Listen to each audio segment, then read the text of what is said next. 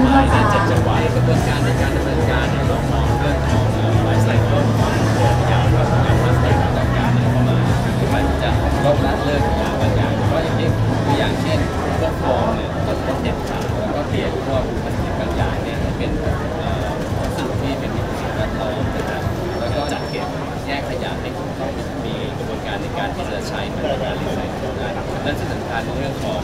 การเก็บขยะสุดท้ายยังเป็น อนที่ติส่วนใหญ่เนี่ยที่เป็นไหลลงทะเลนี่ก็จะเป็นพวกหีบห่อของอาหารหลอดพลาสติก แล้วก็พวกฝาขวดพลาสติกมีการรณรงค์ในส่วนของการปรับเปลี่ยนบรรจุภัณฑ์ที่เป็นมิตรต่อสิ่งแวดล้อมเนี่ย5ชนิด แล้วก็ในส่วนก็มีระบบการจัดการเก็บรวบรวมและคัดเลือกขยะพลาสติก อันนี้จังหวัดภูเก็ตเองเนี่ยมีมาตรการที่เกี่ยวข้องกับการเก็บรวบรวมแล้วก็คัดแยกขยะอยู่ในหลายหลายส่วนอยู่แล้วแบ่งมาด้วยกันค่ะครอบคลุมพื้นที่ของจังหวัดนะคะ ทั้งหมด พื้นที่ของเจ้าแห่งชาติทางทะเลค่ะใจของนักท่องเที่ยวนะคะทำให้มีปริมาณขยะและระดับน้ำทะเลทำเพิ่มสูงขึ้นค่ะสิ่งเหล่านี้เป็นปัจ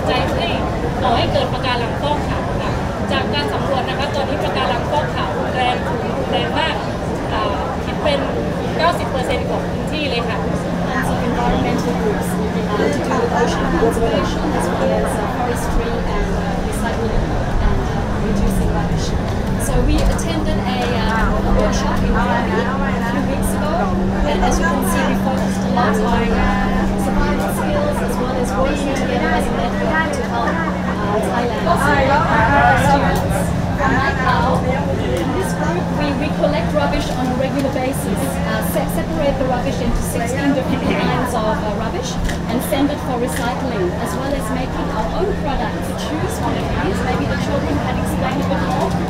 Come go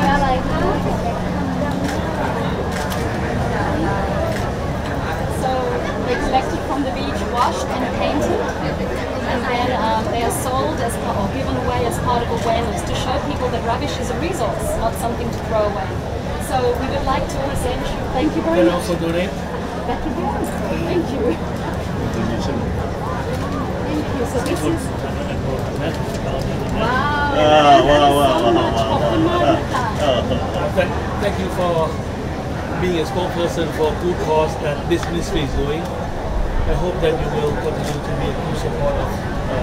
of uh, cause. I will definitely. I've been here for 26 years and I plan to stay for the rest of my life because I love Thailand. You know we are serious about this problem, right? I'm serious and um, we are happy to be part of the solution because it is urgent. And I'm very grateful about the project that you have brought. And uh, we we're very happy. We want to be part of it. It's needed and it's needed now, not Thank you. later. So thank you very much.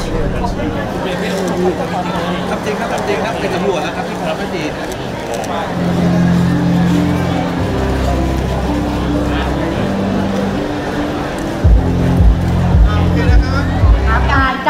ารทำงานร่วมกันของกระทรวงทรัพยากรธรรมชาติและสิ่งแวดล้อม โดยกรมทรัพยากรทางทะเลนามพงสวัสดิ์มีระโยชน์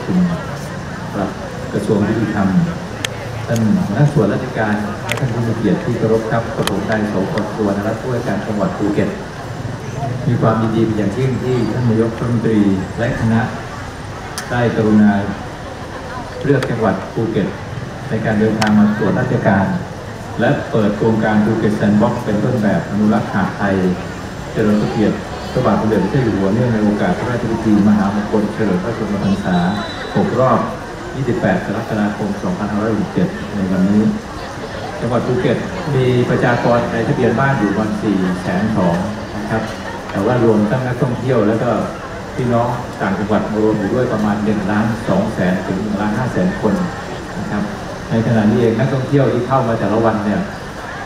มีไดเรกไฟอยู่ประมาณ 65 เมืองที่บินตรงนะครับเที่ยวบินจะอยู่ประมาณที่ 270 ถึง 280 เที่ยวต่อวันนะครับนักท่องเที่ยวก็จะเข้ามาเยอะนั้นขยะก็เป็นเป็นปัญหาหนึ่งที่ทางจังหวัดภูเก็ตได้ดำเนินการบริหารจัดการประกอบกับในช่วงนี้ เป็นช่วงฤดูมรสุมตะวันตกเฉียงใต้นะครับก็จะมีขยะที่มีสัญชาติต่างๆ ที่เข้ามาชายหาดของเราไม่ว่าจะเป็น ฟิลิปปินส์สิงคโปร์อินโดนีเซียนะครับให้เข้ามาชายหาดต่างๆ รัฐบาลโดยนายเศรษฐาทวีสินนายกรัฐมนตรี ได้เล็งเห็นถึงความสำคัญในการแก้ไขปัญหาอย่างเร่งด่วน โดยได้มอบหมายให้กระทรวงทรัพยากรธรรมชาติและสิ่งแวดล้อม ร่วมกับกระทรวงมหาดไทย และกระทรวงการท่องเที่ยวและกีฬาดำเนินโครงการภูเก็ตแซนด์บ็อกซ์ต้นแบบอนุรักษ์หาดไทย เฉลิมพระเกียรติพระบาทสมเด็จพระเจ้าอยู่หัว เนื่องในโอกาสพระราชพิธีมหามงคล เฉลิมพระชนมพรรษา 6 รอบ 28 กรกฎาคม 2567 วิกฤตขยะทะเลโดยเฉพาะอย่างยิ่งขยะพลาสติก ได้ส่งผลกระทบต่อด้านสิ่งแวดล้อมและความเสียหายด้านเศรษฐกิจ เป็นมูลค่ามหาศาล มีรายงานว่าขยะมากกว่าร้อยละ12ของขยะมูลฝอยในประเทศ หรือคิดเป็นน้ำหนัก2ล้านตันต่อปี เป็นขยะประเภทพลาสติก และขยะพลาสติกที่ขาดการบริหารจัดการอย่างถูกต้องเหล่านี้ มีการสุดรอดลงสู่สิ่งแวดล้อมทางทะเลและชายฝั่งจากปัญหาดังกล่าวรัฐบาลโดยการนำของท่านนายกรัฐมนตรีท่านเศรษฐาทวีสินได้เล็งเห็นความสำคัญในการแก้ไขปัญหาอย่างเร่งด่วน ดยมอบหมายให้กระทรวงทรัพยากรธรรมชาติและสิ่งแวดล้อม ร่วมกับกระทรวงมหาดไทยกระทรวงการท่องเที่ยวและกีฬาและกระทรวงยุติธรรม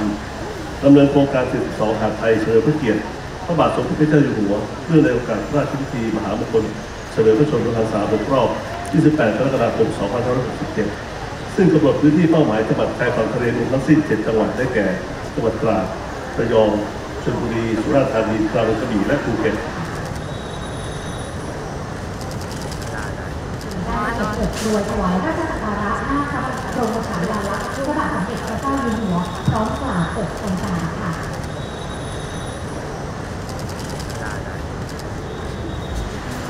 รัฐบาลได้น้อมนำแนวพระราชดำริพระราชปณิธานและพระบรมราโชบายของพระบาทสมเด็จเจ้าหัว ในด้านการพัฒนาสิ่งแวดล้อมมาเป็นแนวทางในการดำเนินงาน และจากที่ประเทศไทยถูกจัดอันดับให้เป็นประเทศที่หนึ่งในสิบ ประเทศที่มีปริมาณขยะพลาสติกหลุดลอยลงทะเล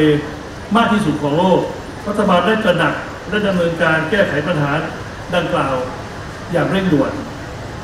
โดยได้มอบหมายให้กระทรวงทรัพยากรธรรมชาติ และสิ่งแวดล้อมดำเนินโครงการภูเก็ตแซนด์บ็อกซ์ต้นแบบอนุรักษ์หาดไทย ภายใต้โครงการรักษ์ 72 หาดไทย ดูแลรักษาความสวยงามของชายหาดและท้องทะเลไทย ซึ่งเป็นแหล่งท่องเที่ยวทางธรรมชาติที่สำคัญในการสร้างรายได้ให้กับประเทศต่อไป ผมขอขอบคุณกระทรวงทรัพยากรธรรมชาติและสิ่งแวดล้อม ที่บูรณาการขับเคลื่อนโครงการภูเก็ตแซนด์บ็อกซ์ต้นแบบอนุรักษ์หาดไทย ภายใต้โครงการรัก 72 หาดไทย เพื่อเฉลิมพระเกียรติพระบาทสมเด็จพระเจ้าอยู่หัวเนื่องในโอกาสมหามงคลของประชาชนชาวไทยทุกคน หวังเป็นอย่างยิ่งว่า ความมุ่งมั่นและความทุ่มเทในการดำเนินการร่วมกันของทุกภาคส่วน ในการสร้างพื้นที่ต้นแบบ สร้างจิตสำนึกในการอนุรักษ์ชายหาดของประเทศไทยในวันนี้ จะเป็นก้าวสำคัญนำไปสู่การแก้ไขปัญหาขยะพลาสติก บนชายหาดและในทะเลอย่างยั่งยืน ซึ่งความอุดมสมบูรณ์ของทรัพยากรทางทะเลและชายฝั่งของประเทศไทย พร้อมที่จะส่งต่อมรดกอันล้ำค่า นี้ต่อไปให้กับคนรุ่นต่อไป ในโอกาสนี้ผมขอเปิดตัวโครงการภูเก็ตแซนด์บ็อกซ์ต้นแบบอนุรักษ์หาดไทย ภายใต้โครงการรักษ์ 72 หาดไทย เฉลิมพระเกียรติพระบาทสมเด็จพระเจ้าอยู่หัว เนื่องในโอกาสพระราชพิธีมหามงคลเฉลิมพระชนมพรรษาครบรอบ 28 กรกฎาคม 2567 ขอบคุณครับเลื่อไปสู่เป้าหมายที่ตั้งไว้ค่ะ ต่อไปนะคะ เตรียมพร้อมสำหรับท่านผู้บริหารทางการในวันนี้นะคะ ขอขอบพระคุณท่านผู้มีเกียรติด้านบนเวทีมอบอุปกรณ์ เกี่ยวกับ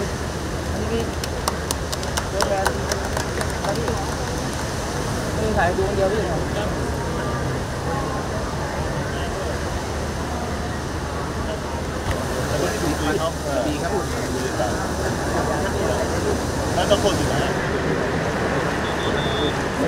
เริ่มเลยเริ่มเริ่มเบาเส้นนี้ ค